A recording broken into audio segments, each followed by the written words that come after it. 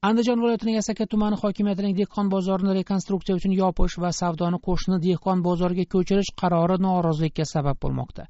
Mahalliy tadbirkorlarning ozodlikka aytishicha bozor ko'chirilganidan bir oydan oshiqroq vaqt o'tgan esada dehqon bozorida qayta qurish ishlari boshlanmagan ko'chirilgan tadbirkorlarga va'da qilingan yer ham berilmagan. Tafsilotlar bilan hurmat bobojon. O'tgan oy boshida asaka hokimligi savdogarlarga dehqon bozorini sentyabr oyiga qadar rekonstruksiya qilib berishni va'da etib ularni tuman chekkasidagi tasanno savdo majmuasiga ko'chirishga ko'ndirgan edi. O'shanda bozorda savdo qilib kelgan ikki yuz o'ttizta do'kon egasiga hokimiyat tumanining boshqa qismidan yer ajratib berish ham va'da qilingan edi.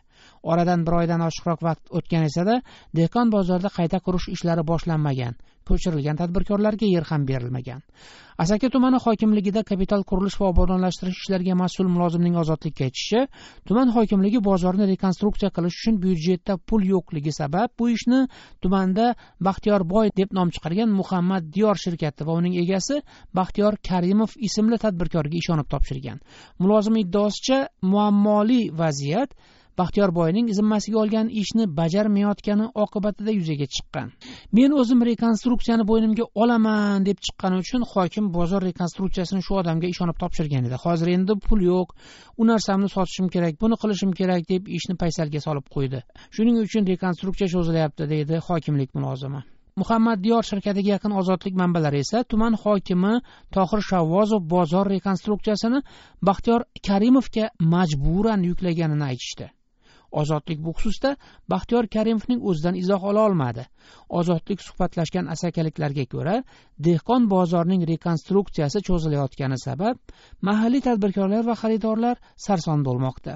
O'zbekistonning boshqa viloyat va tuman markazlarida bozorlarning buzilishi tadbirkorlarning keskin noroziligi manzarasida kechmoqda. O'tgan oy jizzax va samarqandda yillardan beri ishlab kelgan savdogarlardan bir guruhi bozorning yangi joyga ko'chirilishi tufayli ish joysiz qolganidan ozodlikka shikoyat qilgan edi. O'zbekistonda bozorlar mamlakat prezidentining dehqon bozorlarini rekonstruksiya qilish va ular o'rnida zamonaviy savdo majmualari qurish haqidagi yigirma beshinchi mart kungi qarori doirasida amalga oshirilmoqda. Mazkur qaror munosabati bilan viloyatlar markazlarida bundan besh olti yil avval qurilgan buyum bozorlardan o'n millionlab so'mga do'kon sotib olgan tadbirkorlar hali foydaga kirib ulgurmasidan boshqa joyga ko'chirilgan bozordan do'kon sotib olishga majbur bo'lgani ozodlikda avval ham ko'p marta yoritilgan edi.